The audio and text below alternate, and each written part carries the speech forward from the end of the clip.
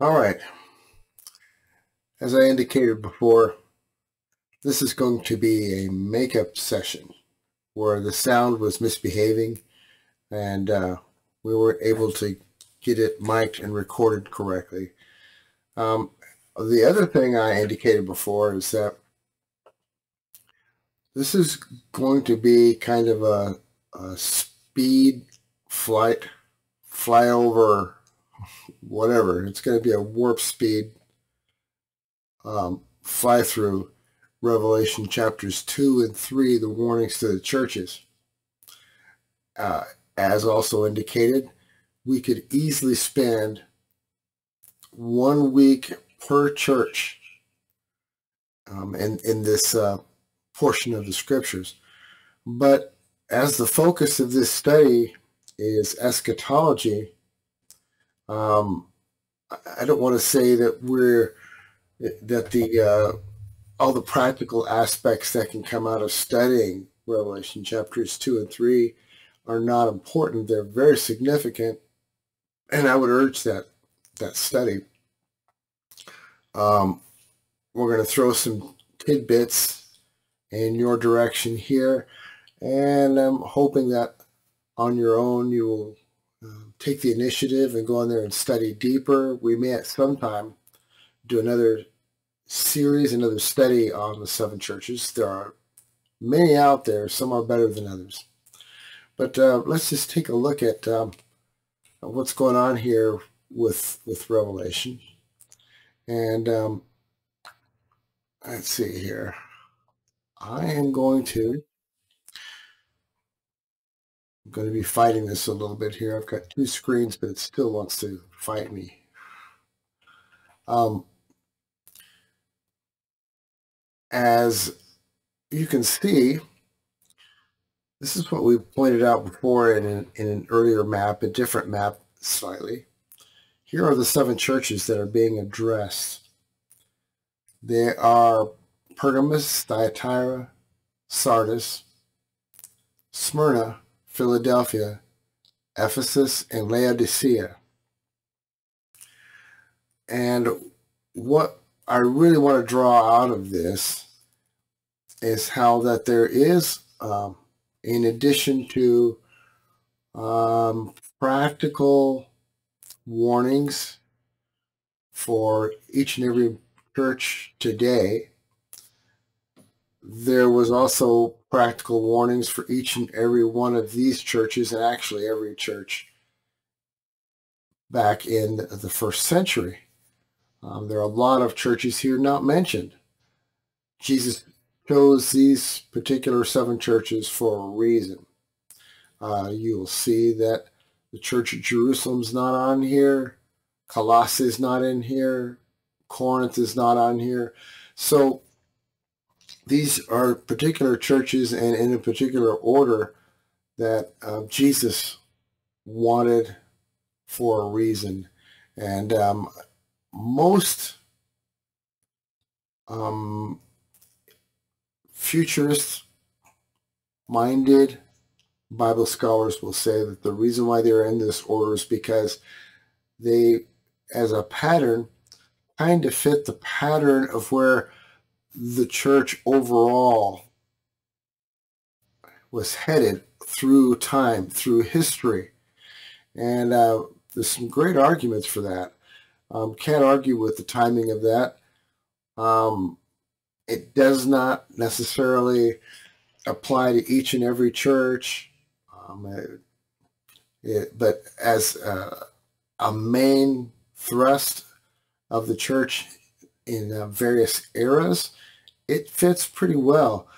Uh, there's some quibble over uh, what years these churches started transitioning and when they did not.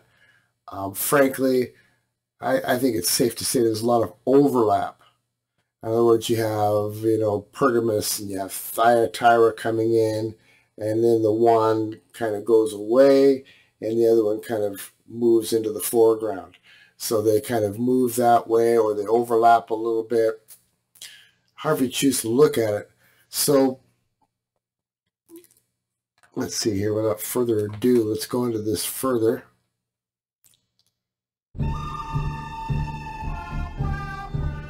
All right.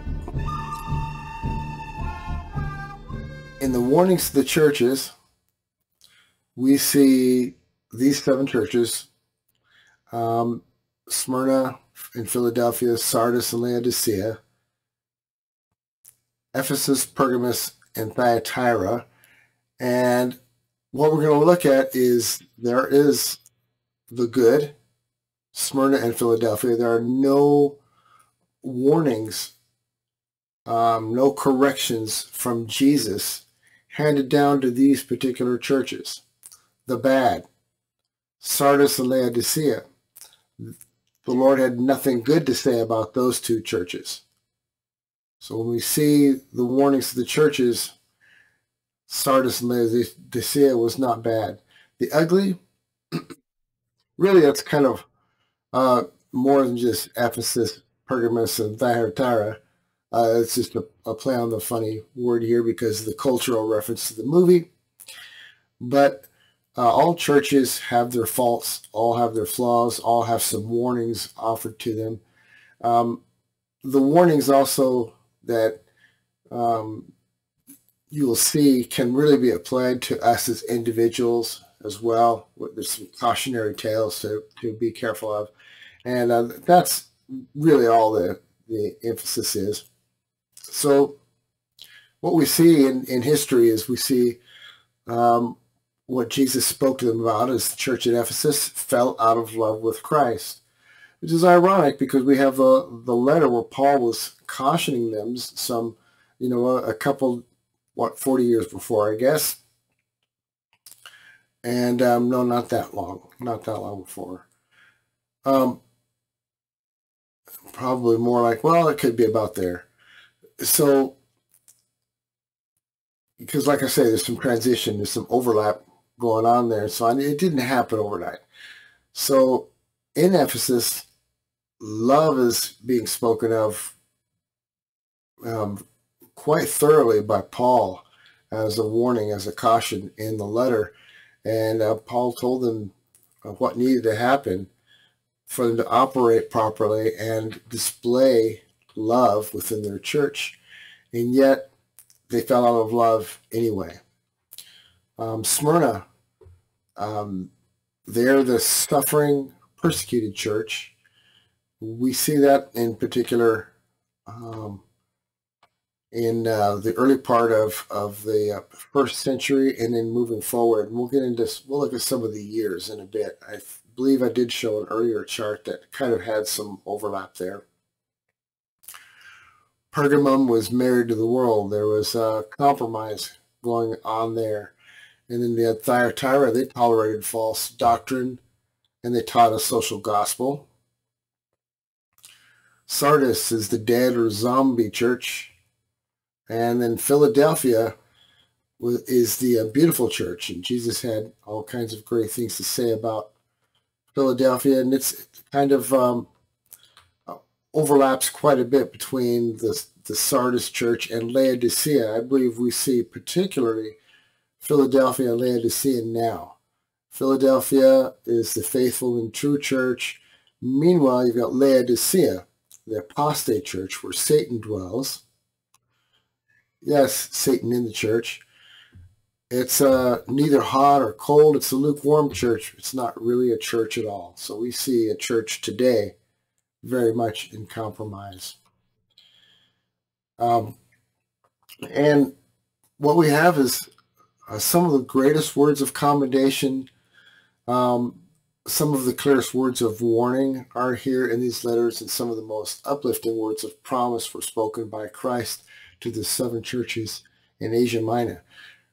Now, Asia Minor, um, as I said, there were a lot more churches than these seven churches, but the seven churches, there was a reason why. And here's some more references to seven in the book of Revelation. As you can see, there are many. Um, I'm not going to give all the references. I'll just run down the list in the interest of time. But we have seven churches, seven spirits, seven candlesticks, seven stars, seven lamps, seven seals, seven horns, seven eyes, seven angels who stand before God, seven trumpets, seven thunders, seven thousand people killed, seven heads, seven crowns, seven angels, seven plagues, seven vials or bowls, seven mountains, and seven kings. so those, those are kind of some examples. It's the heptadic structure. Um, the book of Revelation is just replete. And if you dig and dig more, you'll see more patterns of, of uh, sevens and combinations as you uh, dig more deeply. And I suggest you keep an eye out for that as you go in. So beginning in chapter 2, we have the, the churches at Ephesus, Smyrna, Pergamum, and Thyatira. So all the letters will be broken down into five sections. Um, there are charts you can uh, make that you can create. I'll show an example of one here that you can make for your studies. Um, one is how Jesus describes the recipient of the letter. And a, a second column you might put in would be how Jesus, the author, describes himself, how he portrays himself through this letter.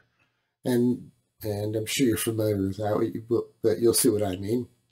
Three is how Jesus commends the church.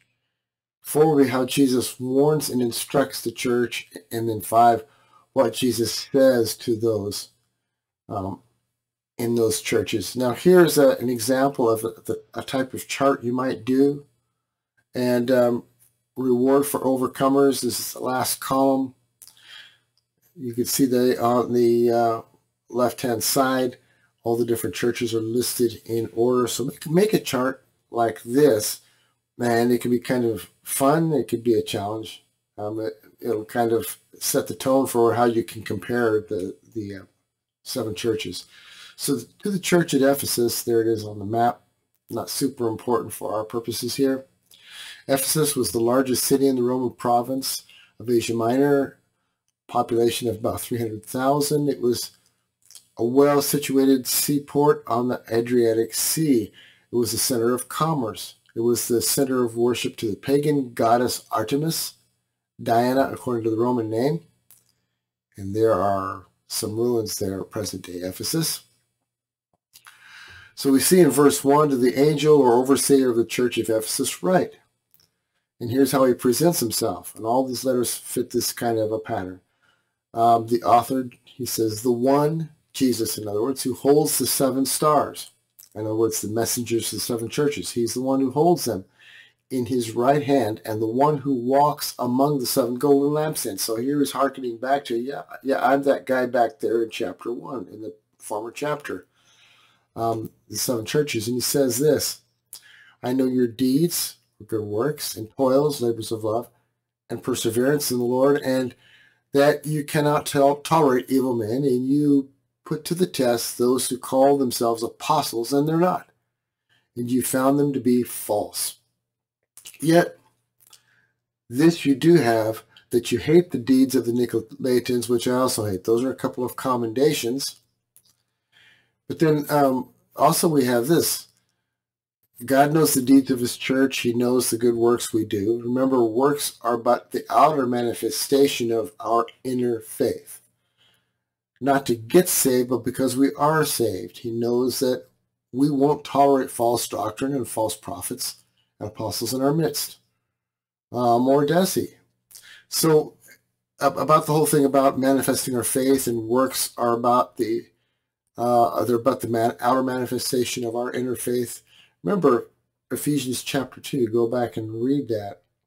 Um, and we find out that uh, uh, faith is a gift. Grace is a fifth as is a gift. Uh, so grace and faith are gifts and they're not of works, lest any man should boast. It's all the work of God that um, that brings us to salvation. But now here's the warnings and instructions to Ephesus. He says, um, verse 4 and 5, But I have this against you, that you have left your first love, your um, love of Jesus. Therefore remember from where you have fallen, or what you've been saved from, and repent and do the deeds you did at first, or else I'm coming to you and will remove your lampstand or your church out of its place unless you repent. Ultimately, this is what happened, is it not? Now, Asia Minor is modern-day Turkey. Um, there is not much. There's there's an underground church there, but uh, the church at Ephesus um, is well. You saw the pictures of the ruins that we were just looking there. So um, we've lost our first love if we do not daily die to self and live for him. This is in Luke 9, 23 and 24. We forget where we came from. We were all dead in our sins in Ephesians 2, 1 to 3. Uh, we forget what he has done for us and forget what we now need to do for him. He will not be mocked. We reap whatever we sow. Galatians 6, 7. But his letter in Ephesus, his uh, the promised overcomers in verse 7 is he who has an ear, let him hear what the Spirit says to the churches. To him who overcomes or is conquering, excuse me, I will grant to eat of the tree of life which is in the paradise of God. So if we persevere and don't give up and daily overcome the flesh through living by his spirit, Romans 8:12, then we will inherit the kingdom of God. We who overcome this world and will enjoy the fruit of the tree of life that is in heaven. And then the church at Smyrna. We're going to hit all these, like I said, quickly, and then we'll kind of work, we'll kind of look at an overview of them. Um, Smyrna had a superb deep harbor on the Adriatic Sea, making it an important commercial center. It called itself the first city of Asia. It built temples to Emperor Tiberius. The city became a center for cult emperor worship. It is known today as Izmir. And there's ruins at present-day Smyrna. And the letter to the church of Smyrna, the recipient, in uh, verse 8, the first part says, into the angel or overseer of the church of Smyrna, write? Here's how Jesus presents himself, the first and the last. He who was dead and has come to life says this. So uh, that part of town might have been into emperor worship. He's presenting himself as uh, the first and the last. He's the be-all and end-all. He's the beginning and the end, right? No emperor can claim that. And um, he was dead and he's come to life. No, emperor dies, they die. And they get replaced by another. So Jesus is presented in a, in a unique way. So Jesus was the first and he will be the last. He was dead but was alive. He's the firstborn or the preeminent one among many to be in heaven. So the commendation, he said, I, Jesus, know your tribulation and your poverty, but you are rich, because our riches aren't in what we have in this world, right? Even if we're undergoing persecution, God knows the trials and tribulations and the poverty of spirit that we are presently going through. He knows our burdens, but he also says that we are not poor at all, but are rich in him, Philippians 5.19. Why do we continue to measure our wealth by our possessions? This is kind of a problem today, isn't it? Especially here in the Western culture that we enjoy here in the United States. So letter of the church of Smyrna, the warnings and instructions we have in, in verse 9b all the way through 10. And I know the blasphemy by those who say they are Jews and are not, but are of a synagogue of Satan. Do not fear what you're about to suffer. Behold, the devil is about to cast some of you into prison so that you will be tested and you will have tribulation for 10 days. That means it's uh, a colloquial, colloquialism. That is, a, or it's a Hebraism. 10 days is a Hebraism for a short amount of time. Be faithful, and I will give you the crown of life. So, emperors, crowns, will get a crown. It'll be a crown of life. I think it's interesting. Um, uh, he mentions the blasphemy of those who say they are Jews and are not, but are of the synagogue of Satan. And so we kind of had this with uh, the Judaizers back in the first century. The Judaizers are back. We have not everybody in the movement, but there's partic- are um, particularly aggressive movements, the Sacred Name movement, the Hebrew Roots movements, and there are a couple of those, and they butt heads and they fight. Sacred Name is they bicker back and forth about how you pronounce the name of Jesus or Yeshua or Yahshua or Yeheshua or pick one. And they'll fight over the proper way to say it. And if you don't pronounce it right, you're not going to heaven. That's strictly devilish. Where do you find that in the Scripture? There's no way to justify that. That's a cult. But they call themselves Jews. They're not really Jews. Most of them are, you know, as uh, Gentile as I am, and probably most of you. So it's uh, utter nonsense. So they had the same kind of problem back then, telling them, you know, you got to keep to the law. You got to keep to this. You got to do this a certain way. You got to say this a certain way. And it's kind of funny because, you know, most of them are breaking the Levitical laws. Are you wearing a poly blend right now? A cotton polyester blend? That's against the Levitical laws. Um, are you a Gentile really by blood, but yet you're you're celebrating the Passover? Did you know that's for, forbidden in the Old Testament? Unless you are an honored guest of a, a Hebrew family, uh, you're not permitted uh, under Mosaic law. Of course, now we're under grace in the church, and we can celebrate or not as we want. Um, but it, it gets crazy. And then also the Sabbaths. Is the Sabbath is it on the the seventh day and you're going to keep it on the seventh day. That's kind of funny because the calendar of the days of the week were changed during the Council of Nicaea. Um, our calendar the days of the week are off by three days right now. So in other words, if you want to celebrate, you or you want to, or you even you want, might not want to call it celebrate. You want to honor the Sabbath, and you want to keep the Sabbath because it's a holy day. You want to keep the same Sabbath that the Jews kept during the first century and second century and third, going up to the Council of Nicaea, all the way back to the times of Moses, uh, you would have to do that today on a Tuesday because our calendar is off by three days. Oops. So if you're going to follow the law, you're condemned already. We're under grace. We're not under the law. But anyway, I digress. This is what I said I wouldn't do. Okay, so God knows there are wolves in sheep's clothing. Same thing I was just talking about. Amongst our brothers and sisters, even in the church, God also knows there are those who call themselves Christians but are really workers of Satan and other sects and cults in our community.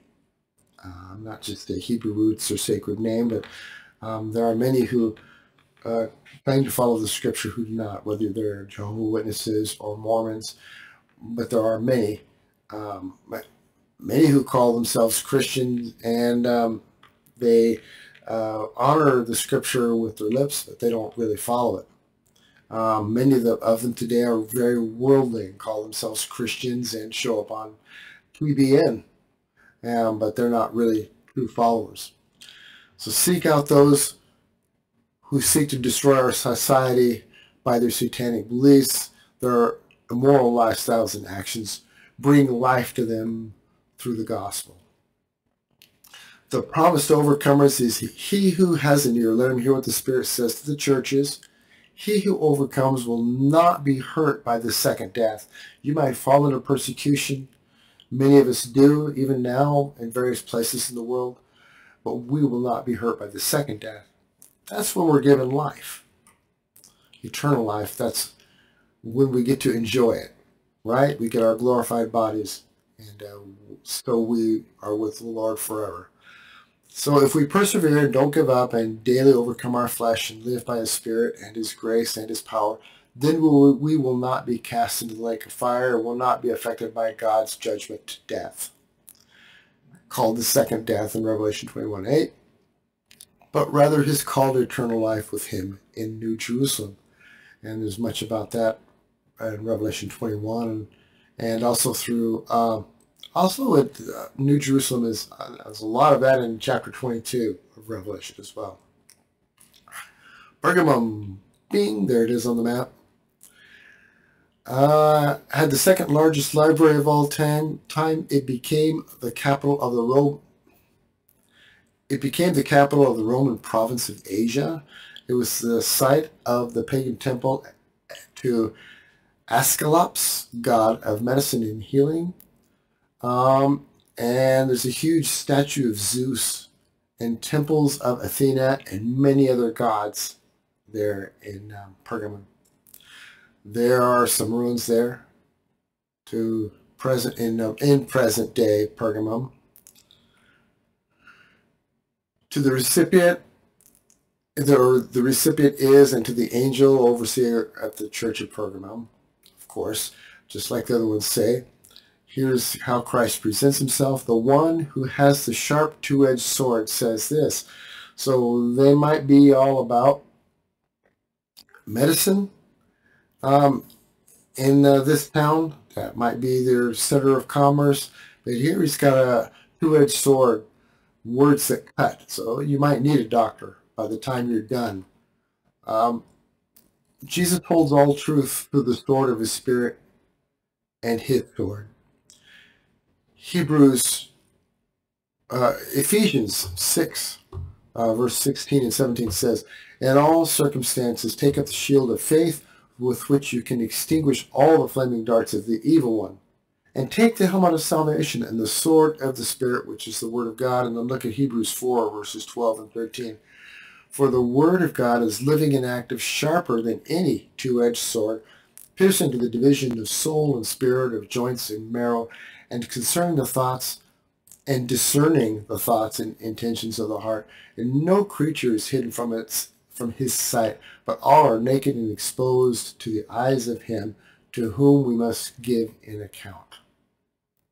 So the letter to the church of Pergamum, the commendation is, I know where you dwell, where Satan's throne is, and you hold fast my name and did not deny my faith, even in the days of Antipas, my witness, my faithful one, who was killed among you where Satan dwells. Now this is uh, to this letter, this is the first really significant letter I want to point out that dates the book of Revelation.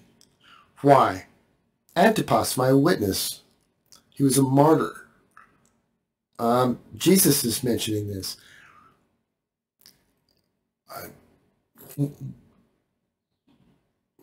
Antipas was martyred and during the time of Domitian. This is well after 70 AD. This is um, approximately about 85 AD or so when Antipas was killed. And this is according to uh, several sources. So most historians and Bible scholars will say, yeah, about 85 or so AD. Um, during the reign of Domitian was when Antipas uh, was killed. Now, the reason why this is important is because um, many folks, um, predominantly the um, amillennial crowd, would like to push the date of the book of Revelation back um, before 70 AD because that would make life a lot more convenient for how to interpret some of the scriptures or reinterpret some of the scriptures the way they prefer. So what they like to do is try to redate the book of Revelation in a way that makes it a lot more convenient for them. But then there's little things like this that make it very troublesome for them. Okay, so that dates the book. And about 95 AD is when most historians say that um, John was on Patmos to write this book. So the warnings and instructions, but I have a few things against you because you have there some who hold the teaching of Balaam, who kept teaching Balak to put a stumbling block before the sons of Israel, to eat things sacrificed to idols and to commit acts of immorality. So you have some who in the same way hold the teachings of the Nicolaitans. Therefore repent, or else I'm, I'm coming to you quickly, um, and I will make war against them with the sword of my mouth. Now the word quickly there. Um, a lot of people will point to the book of Revelation and other passages where uh, the Lord says he's coming quickly. And they, they uh, um, say, see, they thought the Lord was coming back even back in those days. Well, the word quickly in our English doesn't really come across with this word. A better way to translate this is uh, suddenly or rapidly. Uh, tachos is where we get our word for tachometer, and it's the gauge in the car that uh, that will measure the the RPMs of the engine. It'll rev up and it'll happen quickly. So Jesus is threatening, I'm going to come on to you quickly. So he's not saying, uh, I'm going to come unto you soon, um, as in other passages where the word soon might be tachos as well. So you have to look at the those words quickly and soon and find out which ones they are and find out according to context uh, how it ought to be translated. But he's talking about coming up on them rapidly.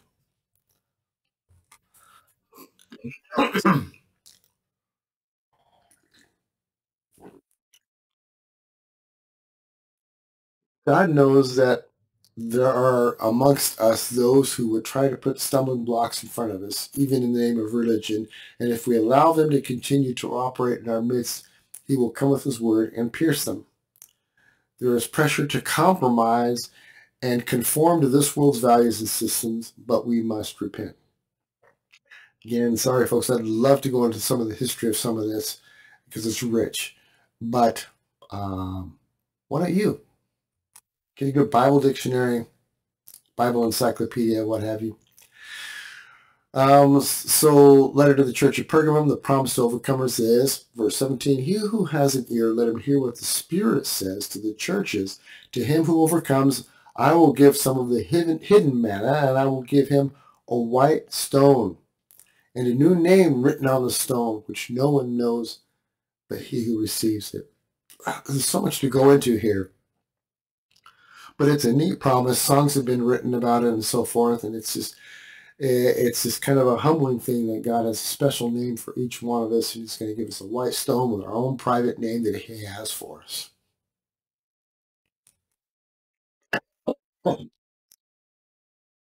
The first manna, Psalm 78, 24, sustained the children of Israel in the wilderness. And his new manna, his word, will sustain us today. His hidden manna that was in the tabernacle, Hebrews 9, 4, is also our spiritual manna in Christ. The new name will be written on it, Isaiah 62, 2, written in the book of life that only the receiver knows. Ah, I hate to cut this short. The best meaning of a white stone probably has to do with the ancient Roman custom of awarding white stones to the victors of athletic games. The winner of a contest was awarded a white stone with his name inscribed on it. This served as his ticket to a special awards banquet.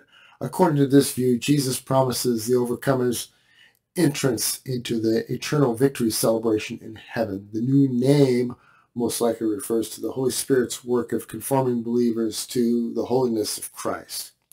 See Romans 8.29 and also, also Colossians 3.10. Thyatira, motoring through not quickly enough. It was a smaller city, but a thriving manufacturing and commercial center, many trades and guilds. It was steeped in suspicion and pagan rituals the era for this church falls right into where uh, the Roman Catholic Church in particular was very strong and growing and flourishing. Um, it accepted many cults and tradesmen's secret societies, which you will note probably the um, similarities between the Catholic Mass and, for instance, the Masonic Lodge and other lodges. Um, there are a lot of overlap a woman called Jezebel taught and fooled many Christians to conform to paganism. So you have Jezebel and uh, statues of Jezebel were, were mother and child. Um, that's more history we could get into. And unfortunately, we are not going to take the time to do that now, but it's sobering, and it should be. Uh, the recipient and to the angel or overseer of the church of Thyatira, right? Here's how he presents himself as the author, the Son of God, right?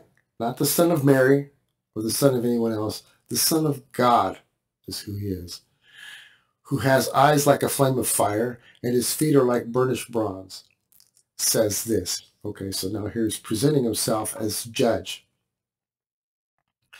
So anyway, the commendation, let's look at the commendation quickly here in verse 19. I know your works. Notice this. I know your works, your love and faith and service, patient endurance, and that your latter works exceed the first. So works is mentioned here a couple times. So uh, the Roman Catholic tradition is a very works-oriented tradition. So he's saying, I know this, I've seen this. Here's the warning, verses 20 to 22. Okay, picking up from two slides ago. But I have this against you, that you tolerate the woman Jezebel.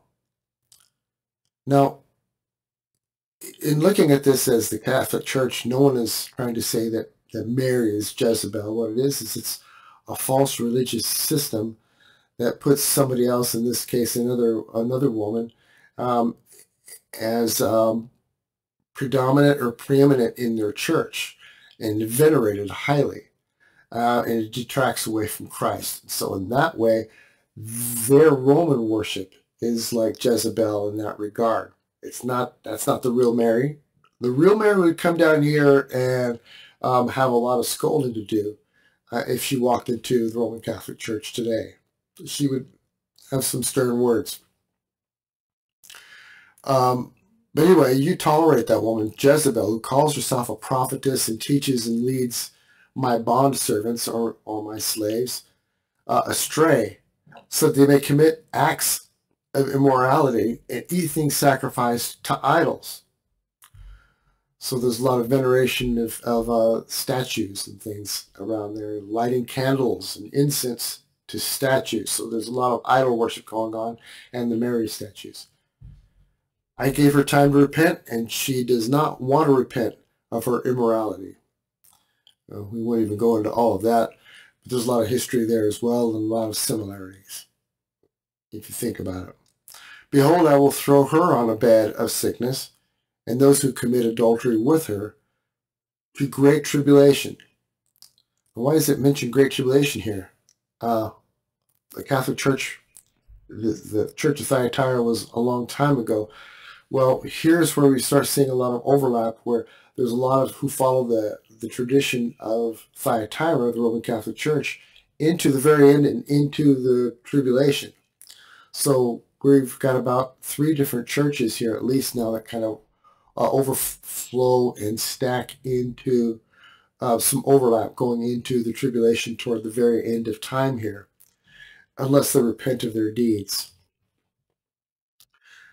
Um, more warnings and instructions, and I will kill her children with pestilence, and all the churches will know that I am he who searches the minds and hearts, and I will give to each one of you according to your deeds. So if you're going to follow or live on, and try to exist and try to get into heaven by your deeds, by your own deeds, you're going to get what's coming to you. No, I want to get to heaven on Christ's deeds and have his righteousness imputed unto me. Not try to get to heaven on my own righteousness, my own deeds. God forbid. Because I'm not righteous at all on my own.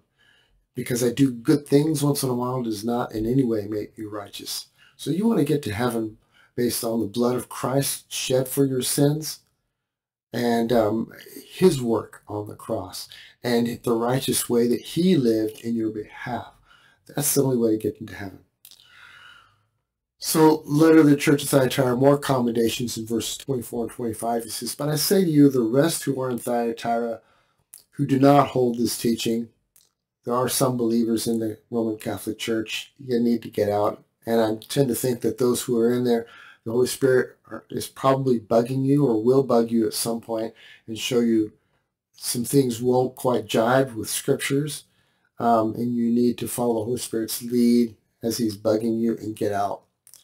Um, who have not known the deep things of Satan, as they call them.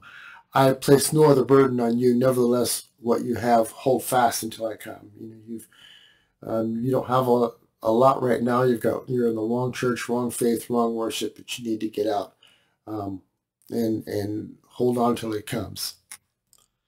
Jesus will commend us for walking in His word, not the Pope's word. Okay, um, 1 John 2, 4 to 6, and not seeking after the winds of this world, even though religiosity or signs and wonders, or even through religiosity or signs and wonders, if they don't glorify Jesus. Uh, the promise to overcomers, and he who overcomes and keeps my works, keep Christ's works, not your own, until the end, to him I will give power over the nations. He shall rule them with a rod of iron. Is Christ, and he'll be sitting on the throne of David in the kingdom. They shall be dashed to pieces like the potter's vessels. As I also have received from my Father, and I will give him the morning star. He who has an ear, let him hear what the Spirit says to the churches. So it's interesting that he's talking about how Jesus is going to rule rule from the throne with a pot of iron, with a rod of iron. I'm sorry, um, because when Gabriel came to Mary, what did he promise her? That her son was going to sit on David's throne and rule. So there's another connection there. There are more. Again. So then we get into chapter 3. I'm motoring again, not fast enough. Bing, there's the little happy church at Sardis. Um, all right. Sardis was the capital city of Lydia, about 80 kilometers from Smyrna. It was well fortified and not easily conquered. It became an important Christian center, but it relied on past glories and became complacent and died. Um, a lot of people will say this is a lot like some of the, the Reformed Church uh, 500 years ago. And um, in that way, a lot of people can um, kind of, as, it, as the Pharisees did in Jesus' day, kind of rest on their laurels. We're, we're of our father Abraham, you know, kind of thing. You know, we're reformed, you know, we're, you know, of, uh, you know, all the reformers that started during the Reformation and we rest in those traditions. So, hey, we're good. Um, this is kind of what happened to um, after a fashion. So it's to the angel or overseer at the church of, of, of Sardis, and he's, he says, um, he presents himself, Jesus, as he who has the seven spirits or the sevenfold spirit of God, and the seven stars says this. Now, the seven spirits, this is an entirely different study. Um, most will point to Isaiah. And seven, again, is that number of perfect completion. And so he's presenting himself as, hey, he's the only one who's complete. You might think you're reformed, and you might think that you are complete. Your theology is good. You're done. No, you probably need to keep reforming. The only one who's complete is Christ. None of us are quite complete yet. Okay, we all need to continue reforming. Uh, we don't just look back and say, hey, we're done. I'm reformed. I'm good. Um, because, you know, I, I'm not leaning toward reformed. Um, uh, a lot of Reformed people will tell me I'm not because I hold to some dispensational views, and dispensational people will say, you're a Reformed, dude. Uh, so I, I, don't have a home, apparently. Uh, nobody wants me. But there are a lot of us that are out there that are like that. But um, sometimes uh, there can be a little bit of, of cockiness in um, the Reformed camp and, and feeling like, hey, we've got this doctrine thing down can't touch this. Uh, don't be like that. Um, if you're in the cage stage, get out of the cage. Pour a sip of coffee, relax. So the commendation is, I know your deeds, that you have a name, that you're alive. As before, God knows our, does know our deeds that are done in his name for his glory. He knows that some churches are indeed alive, but here's some warning and instructions. But you are dead. Wake up and strengthen the things that remain which are about to die. For I have not found your deeds completed in the sight of my God. So remember what you have received and heard, and keep it. Repent. Therefore, if you do not wake up, don't be asleep anymore. Don't slumber. If you don't wake up, I will come like a thief, and you'll not know the hour I will come to you. And there's a lot of controversy, it's funny, among the, the Reformed folks about what it means about coming like a thief. Well, when he talks about coming like a thief, um, he's coming like a thief to the unsaved, unbelievers. Um, hopefully you're saved. Hopefully you're a believer. Uh, we're not going to be caught like a, a unaware like a thief in the night. Jesus, when he said this in um, the Olivet Discourse, um, as in the days of Noah, it were, was the world that was caught off guard like a thief. Noah was prepared. He didn't know the day or the hour. He knew the season. He had an ark.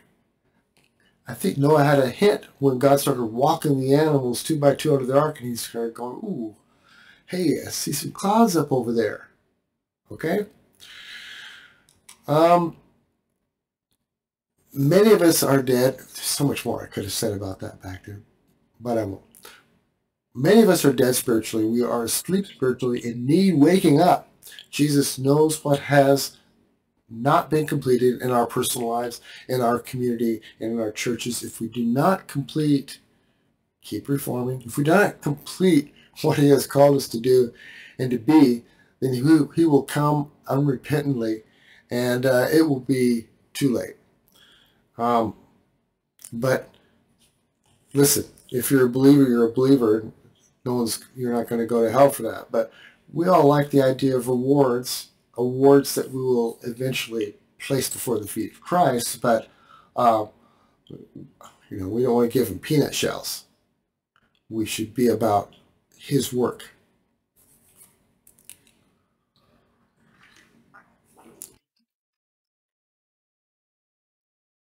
More commendations in verse 4. But you have a few people in Sardis who have not soiled their garments, and they will walk with me in white, for they are worthy.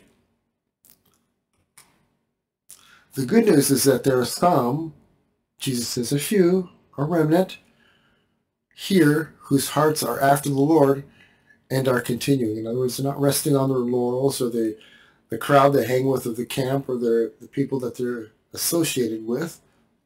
They're associating themselves with the Lord. Their hearts are inclined to the Lord. They have repented of their sins and have not fallen back and will walk in white garments with the Lord. Walk in purity.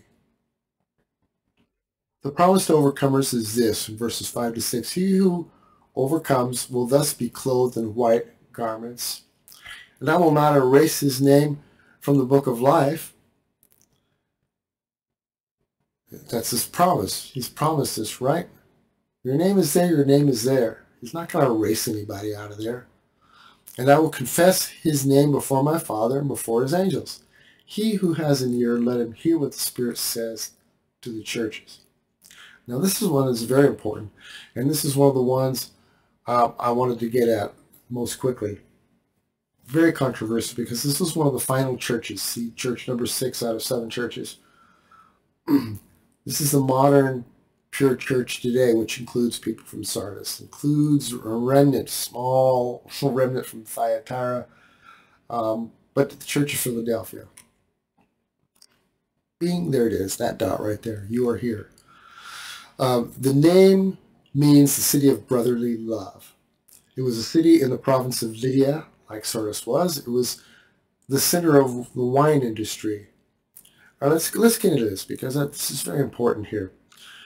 Um, okay, the author he presents himself this way in 18b: He who is holy, who is true, and who has the key of David, who opens and no one will shut, and who shuts and no one will open, says this. So God is presented as sovereign. The sovereignty of God is very much disputed these days. Apparently man is sovereign in a lot of churches.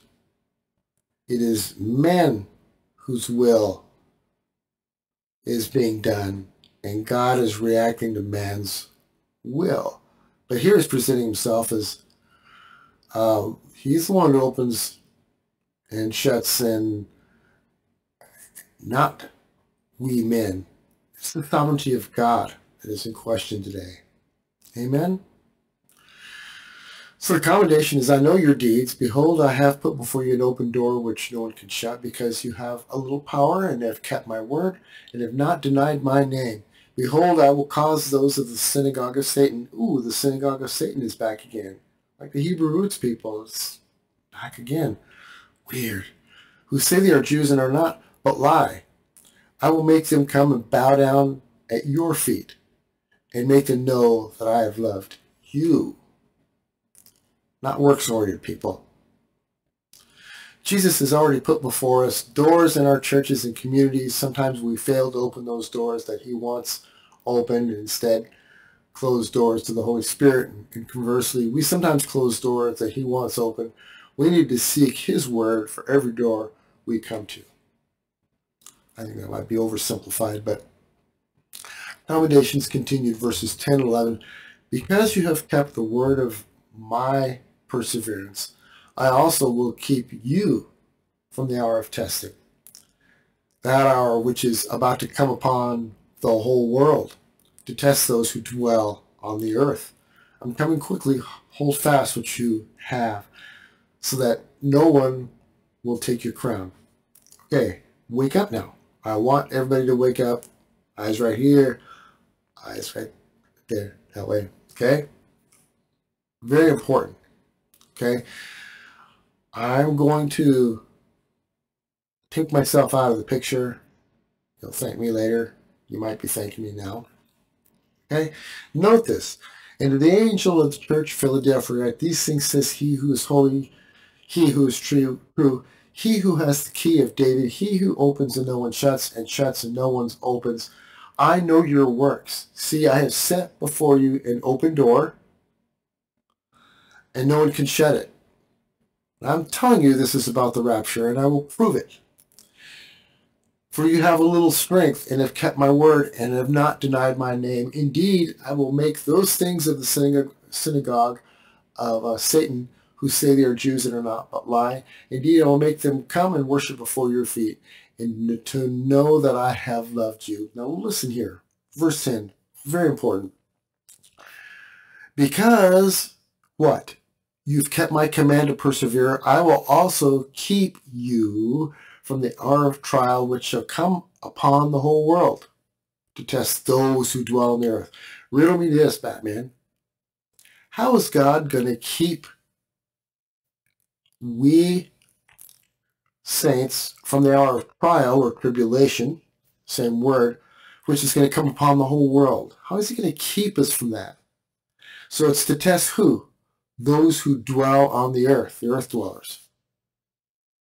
As opposed to what? Us? So if we're not dwelling on the earth, where are we? On the moon? Okay, let's look at it again.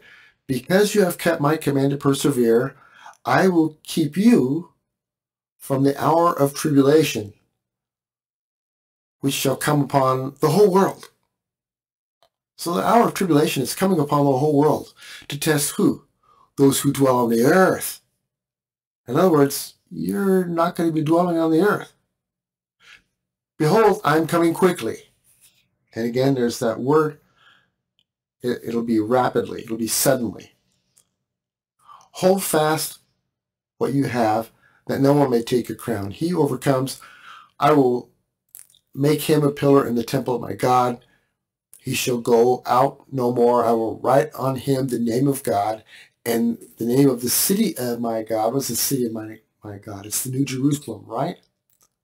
Jesus said in John 14, I'm going to go and prepare a place for you. My Father's mansion are many rooms.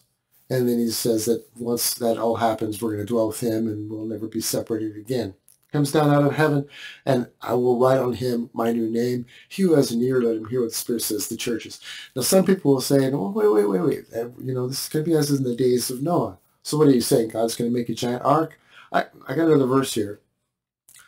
Let's, let's look at this here not another verse, another slide here. I want to see if it will go.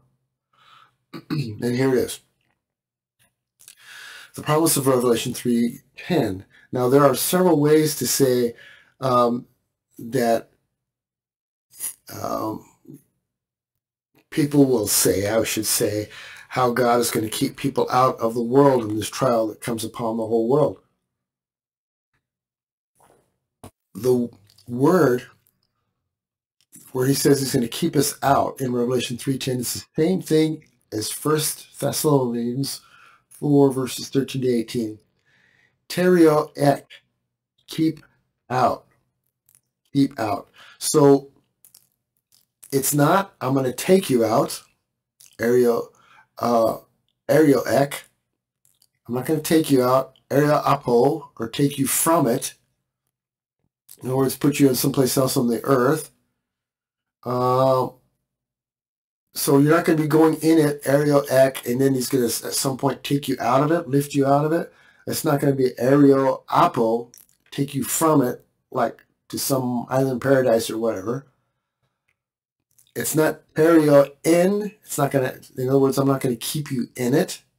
It's not Tereo dia or keep you through it. It's Tereo ek, keep you out of it. Okay? So, again, verse 10, because you have kept my command to persevere, I will also keep you from the hour of tribulation, trial, which shall come quickly upon the world to test who? Those who dwell on the earth. In other words, we're not going to be dwelling on the earth. I hope to make that really clear because that's a wrath thing. Let's look at, since we're here, and it says 1 Thessalonians 4, 13 to 18, I think it's important to look at this. Because what does it say? Okay, now here I'm cracking open a New King James. But I do not want you to be ignorant, brethren, concerning those who have fallen asleep or have died, lest you sorrow as others who have no hope. For if we believe that Jesus died and rose again, even as God will bring with him those who sleep in Jesus, for this we to you by the word of the Lord, that we who are alive and remain until the coming of the Lord will by no means precede those who died. Why? Verse 16. Because, or for, the Lord himself will descend from heaven with this shout, there's that door that he opens that no one can shut, with the voice of an archangel, and with the trumpet of God. And what happens? Those who are who have died or gone to sleep, those who've died, um, in Christ will raise first. Then we who are alive and remain shall be caught up. There's the word rapture. Caught up. Harpazo. Harpazo is the Greek. Uh, rapture, it comes from the Latin Vulgate. Will be caught up or raptured together, taken with them in the clouds to meet the Lord in air. Notice it's not a complete second coming all the way down. This fits the Hebrew wedding tradition that we go into later in this study. We meet the Lord in the air, and thus we shall always be with the Lord. Therefore, comfort one another with these words. We pause here.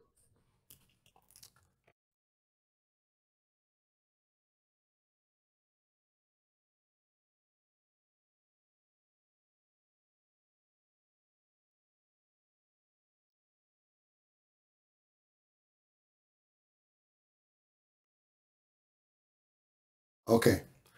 There's another thing I want to say about this whole wrath thing. And we see wrath in Revelation chapter 6. Notice this trial is going to come upon the whole world. This is the day of the Lord also. We read in um, Peter, for instance.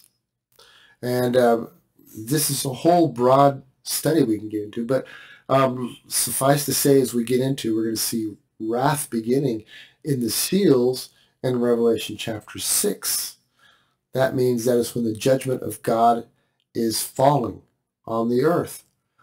And uh, I want you to recall as well that Jesus would, said that it would be as in the days of Noah and the days of Lot. And usually people say, well, the days of Noah, I get the idea the whole world's going to be wiped out, but judgment was saved. He was kind of saved through it. So the church, um, you know, it was more like a Tereo Dia right? The ark kind of thing. But that's more Israel because the 70th week of Daniel is known in Jeremiah as the time of Jacob's or Israel's trouble. So, no, we we are taken out of it. We are perio um, just like Enoch, taken up to be with the Lord before the flood happened. But there's another thing he says, and that's and Lot. Jesus says it's like Lot. What happened to Lot? And uh, to Lot, and um, we we read in Genesis that what happened was, is the Lord Lord came down to talk to Abraham. This is Reader's Digest condensed version, and said, "Yeah, we're about to go nuke that town." And Abraham's going, "Well, uh, Lot's there. I I need to. I got people over there. What about them?" So uh, he's concerned, and and these and there starts this kind of a, a, little bit of a word game where Abraham's kind of saying, "Well, Lord, tell me, you know, how how he wants to know how safe his family is, how safe Lot and his family are." And he says, uh, if, if there's 50 righteous people there, are you still going to wipe it out?" And he goes, uh, he says, "No." He says, I, "I won't wipe it wipe it out if there's 50." He goes, "Okay, but um, what, what about 40? What about 30? What about, you know, he goes all the way down. What about 10? 10, Lord, will you wipe out um, Sodom if there's if there's 10 righteous people? He goes, I I won't even wipe it out if there's 10 righteous people there. So, lo and behold, uh, Abraham goes with with uh, the angel of the Lord and the, the two other angels. They go there to Sodom and they're there for about a day. All kinds of things take place. Some horrific things take place. Um, but cutting to the chase is uh, the Lord says to uh, Lot, hey, buddy, we got to get out. You got to get out now. And he goes, well, I kind of don't want to. Can I go over to this town instead? And the Lord's like, fine, but you got to get out, and you got to get out now because I can't nuke this place. I can't rain fire from heaven, brimstone from heaven, until you are out of the way. So God will not rain wrath upon the righteous. And Lot was accounted righteous. Abraham was accounted as righteous, we see in the scripture. Uh, we also see in uh, Hebrews 11. So anybody who is the Lord's, God is not going to pour his wrath on them. We, the church, are the bride of Christ. So do you really suppose that we're going to go through tribulation and the Lord is going to rain fire down on us? Doesn't really pass the smell test. Okay, doesn't really fit. Uh, continuing on with Philadelphia, there are no warnings for the church of Philadelphia. They're faithful. Because we may have no warnings now. We're still urged to keep on persevering. We are still urged to keep his word because we will be tested. We do have testing every day, not the great tribulation, not testing from God that includes wrath. But we do go through trials and tribulations, and we've been told by Jesus that if we follow him, everybody is going to go through some level of trial and testing. Some people will go through much worse, right? promise to overcomers is he overcomes, I will make him a pillar in the temple of my God. And he will not go out from it anymore.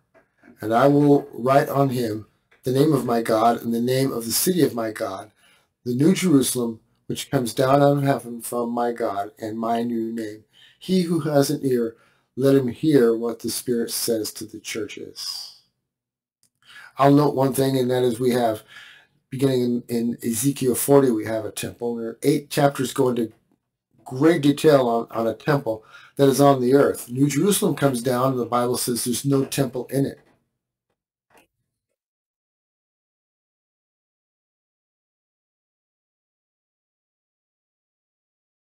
So the promise again to the saints at Philadelphia, to that church, is promised to overcomers is he who overcomes, I will make him a pillar in the temple of my God, and he will not go out from it anymore. And I will write on him the name of my God and the name of the city of my God, the new Jerusalem, which comes down out of heaven from my God and my new name. He who has an ear, let him hear what the Spirit says to the churches. When John is taken up by the angel in Revelation 21, and he is shown the city, New Jerusalem. It is announced this way. Uh, the angel says, Behold the bride, now wife. Because um, places are often identified with those who dwell. If somebody says heaven knows, what you're saying is you're saying God knows. Heaven is a as a as a place any more than a building like New Jerusalem. It's it's it's a place, but it doesn't know anything. No, heaven knows because God knows, and heaven is identified with God because it's his dwelling place. New Jerusalem is identified with us, the bride of Christ, the church, because um, uh, um, it, it is where we dwell.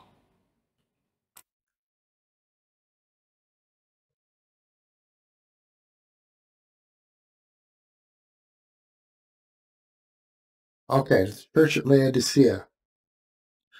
And there's Laodicea. Many, many sermons have been preached, some of them incorrectly. Sometimes you will see uh, a Jesus painting where he's at a little stone house and he's knocking on the door. It says, Behold, I stand at the door and knock. If you let me in, and it's we're supposed to take that as being, for instance, like uh, you know, Jesus is knocking on the door of your heart. And that is not the case. Jesus is on the outside of the church at Laodicea, the lukewarm church, the worldly church, and he's saying, let me in. I'm outside. You need to let me in. So it was economically prosperous and of high social prestige, you know, like a mega church kind of a thing. So very prestigious was destroyed in an earthquake in 60 AD, but it refused aid from Rome. So it was very prideful. We got this. We don't need your help. It was known for its black wool garments, water carried by aqueducts and barrel pipes, was warmed on its long journey. The church considered itself self-sufficient. And there's the ruins at present-day Laodicea. Uh, it's to the angel of the church of Laodicea. The author, Jesus, presents himself as the Amen, the faithful and true witness, the beginning of the creation of God. So the way he presents himself shows what he thinks of Laodicea, who um, is not being a true witness. They're a false church. And that's what we see now. And they're not faithful, not faithful to the Word of God. With all the um, name it and claim it type stuff and so-called apostles and so forth. There are, no, there, there are no apostles today. There's nobody around who's 2,000 years old. The requirements for an apostle are stated quite clearly in Acts chapter 1. If you're a witness um, and you were around from the time of the baptism of John, and you weren't, and you saw the resurrected Christ and you didn't, those were some of the requirements. There are about six or seven different requirements at least there if you read through carefully and you break it down in, in Acts chapter 1. But everybody's all about the prestige and they're false witnesses with false promises and it's a false church. And uh, you need to come out from, from that bunch. So these are three new names of Jesus not seen before. There's no doubt of who he is and should be in our lives. So the combination is, is I know your deeds. Hey, we do a lot of good stuff. You know, we sent airplanes to take Aquafina to somebody overseas or whatever, or rescue people. So Jesus says, we know your deeds. Jesus does not have anything positive to say about the church other than that. Um, you know, you've done some deeds. They probably sent Aquafina over to Afghanistan because, you know, it makes for good press and it brings more people in and gets people to open up their wallets some more, right? Um, it's marketing, a marketing play. So warnings and instructions. So second part of verse 15 all the way through 17, he says, he said, I know your deeds, that you are neither cold nor hot. I, I wish that you were cold or hot. So because you are lukewarm and neither hot or cold, I'm going to spit you out of my mouth. Because you say, I'm rich, I have become wealthy, and I'm name it and claim it, right? I have no need of, I have no need of nothing, and you do not know that you are wretched and miserable and poor and blind and naked. Uh, more warnings and instructions says, I advise you in verse 18 to buy from me gold refined by fire, so that you may become rich in white garments, purity, so that you may clothe yourself, and that the shame of your nakedness, excuse me, and that the shame of your nakedness will not be revealed. Um, an eye salve or ointment or cream to anoint your eyes that you may see. Um,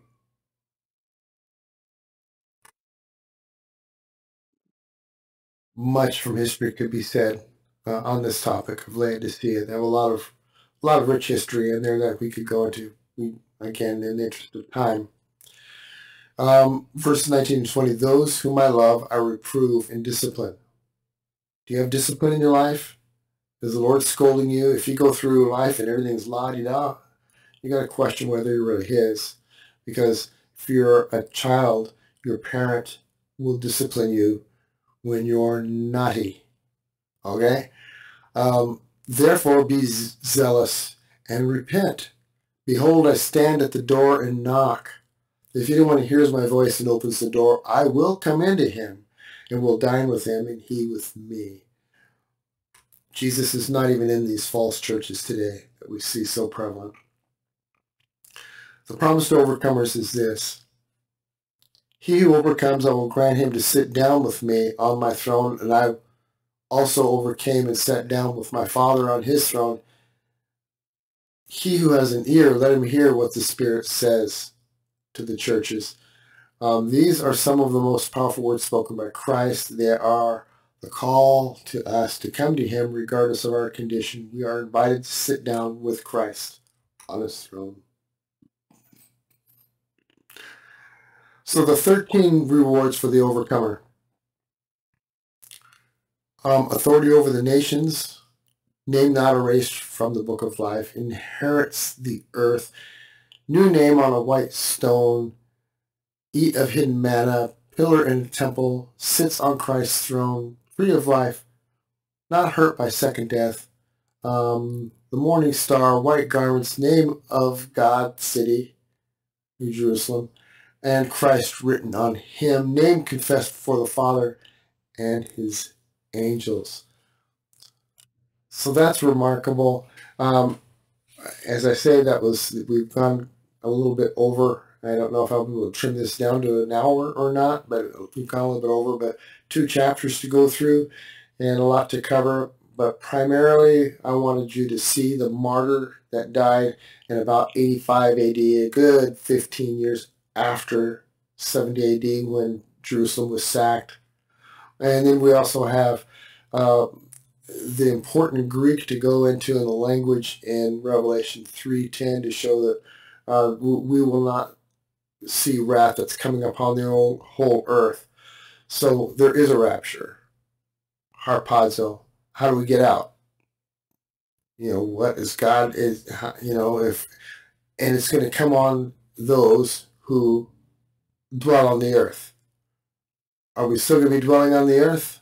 So it's future, a future tribulation that comes that's described in Revelation, and it's coming on those who dwell on the earth, not those who no longer dwell on the earth. Because a door has been opened that no one else can shut. So, anyway, that's it, and now we move on.